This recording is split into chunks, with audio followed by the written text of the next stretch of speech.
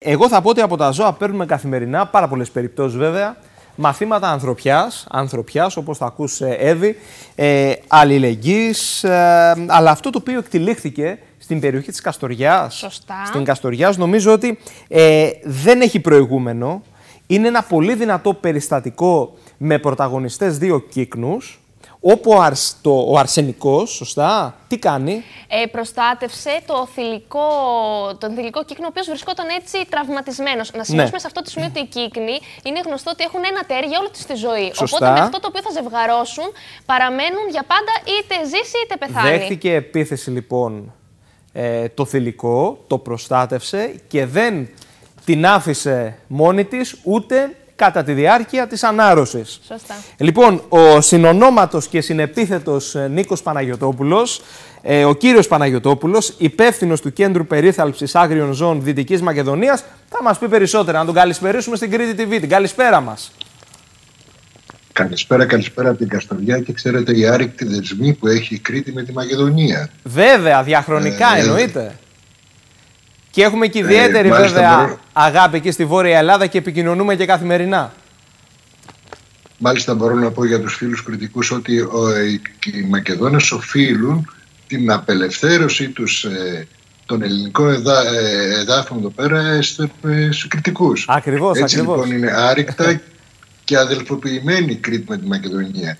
Όπως και για να μπούμε στο θέμα μας, ο κύκνος που έχει λάβει μέρος ε, σε αυτό όλο το περιστατικό είναι κριτικός. Μάλιστα, εμείς το λέμε και κυκνάκι. Το βάλαμε, Α, το βάλαμε σε άκι. για πείτε μας λοιπόν, είναι ένα δυνατό περιστατικό. Η αλήθεια είναι που όπως είπα και στον πρόλογο μας αγγίζει όλους. Τι έγινε; Ακριβώς, όπως προλογίσατε και εσείς, τα ζώα μας δίνουν μαθήματα ζωής.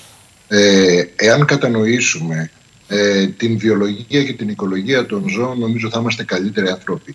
Άλλωστε, ο μεγάλος Γκάντι είχε πει ο πολιτισμός ενός λαού φαίνεται από τη συμπεριφορά του προς τα ζώα. Ας δούμε λοιπόν με ένα άλλο μάτι αυτά όλα αυτούς τους συγκατοίκους που έχουμε γύρω-γύρω μας και να κατανοήσουμε. Αυτό λοιπόν το περιστατικό συνέβη εχθές, δηλαδή μία μέρα πριν. Ένας ε, κύκνος καταγωγής κριτικός όπως είπαμε πριν και μία ε, κύκνα, να το πούμε έτσι, αν μας επιτρέπει και ο κύριος Πιτράκης, Σωστά. ε, που, που η καταγωγή του, κύριο Μπαμπινιώτης θα έλεγα, καλύτερα, που η καταγωγή, του, η καταγωγή της είναι από την ε, Εύβοια, ε, ήρθαν εδώ στην Καστοριά. Όπως ξέρετε η Καστοριά, ε, η ορνηθολογικό της όνομα είναι λίμνη των κύκνων. Έχουμε πολλά ζευγάρια κύκνους που ε, αναπαράγονται εδώ πέρα. Έτσι λοιπόν ήταν μια ευκαιρία αφού ήρθαν εδώ τα δύο τα πουλιά να αφαιθούν ελεύθερα στη λίμνη.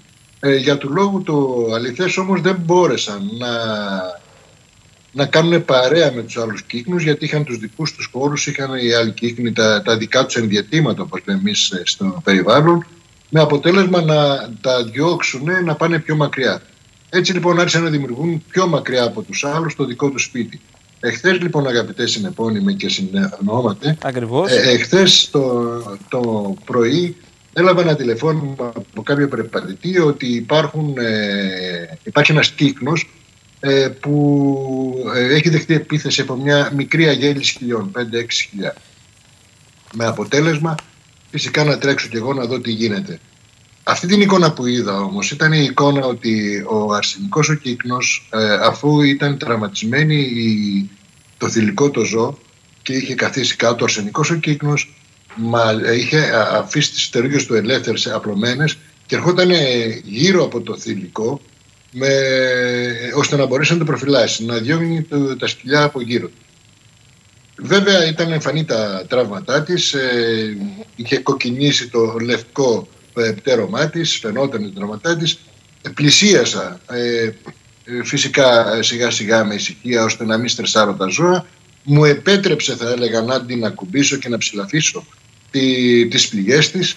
Ε, με αποτέλεσμα ότι έπρεπε να πάρω εγώ το ζώο και να το πάω στο κέντρο περίθαλψης, στο σταθμό που έχουμε, Ναι. που δεν ήταν παρά μόνο 300 μέτρα μακριά με 400. Έτσι λοιπόν, ε, όταν ε, το πήρα το ζώο και έφυγα να το πάω με τα πόδια στο σταθμό, κατανόησα κάποια στιγμή όταν έφτασα ότι πίσω μου ερχόταν και το αρσενικό. Έτσι, ανοίγοντας την πόρτα, πέρασε μόνος του μέσα Πήγαμε στη θέση του ιατρίου, περιποιηθήκαμε όλα τα τραύματα από, την, από το θηλυκό το ζώο, το θηλυκό πουλί, από το θηλυκό κύκνο.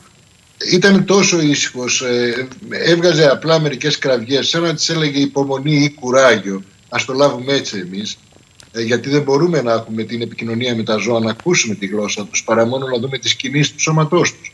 Και πόσο δε εμείς που ασχολούμαστε με τα ζώα, εγώ τουλάχιστον πάνω από 25 συναπτά έτη, καταλαβαίνοντας τη γλώσσα του σώματος, αφού της περιποιηθήκαμε τα τραύματα και τη βάλαμε μέσα στο αναρωτήριο, δεν σταμάτησε εκεί. Μπήκε μέσα στο αναρωτήριο, κάθισε δίπλα της και μέχρι και τώρα που μιλάμε και πριν λίγο που ήρθα, είναι εκεί δίπλα της.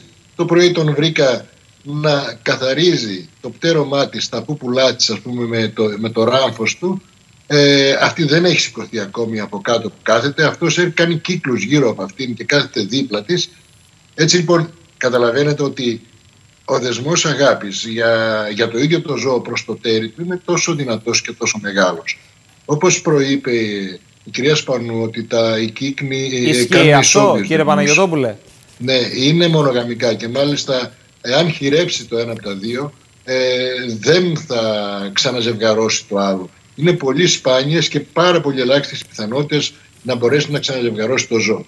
Έτσι, ε, αφού ξεκινήσουν την ζωή τους, δεν σταματάνε. Καταλαβαίνετε λοιπόν, ε, ένας κύκνος από την Κρήτη, ε, ένα θηλυκό, ένα αρσενικό από την Κρήτη, ένα θηλυκό από την Εύβοια, ε, ε, τους έκανε να συνδεθούν μαζί ε, αυτό το διώξιμο που έκαναν οι άλλες ομάδες. Ε, έτσι λοιπόν έχουμε αυτή την ιστορία και η ιστορία δεν σταματάει εδώ. Η ιστορία συνεχίζει καθημερινά. Ε, σήμερα ε, αντιμετώπισα το ίδιο. Τώρα το μεσημέρι που έδωσα τη θεραπεία τη μεσημεριανή στο θηλυκό ήταν εκεί, ήταν δίπλα της. Ε, αν δεν φάει το θηλυκό δεν τρώει και το αρσενικό. Ε, είναι τόσο δυνατοί δεσμοί που πραγματικά εμείς παίρνουμε μαθήματα, παίρνουμε μαθήματα ζωής.